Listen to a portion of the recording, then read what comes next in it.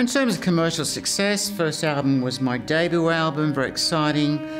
I went to 45,000 sales in Australia over a couple of years and nominated for the ARIAs in 1988 as Best Classical. Uh, I moved to London a few years later and went on to sell 2.4 million albums, creating a series of albums with my own label, uh, Safari and Classics.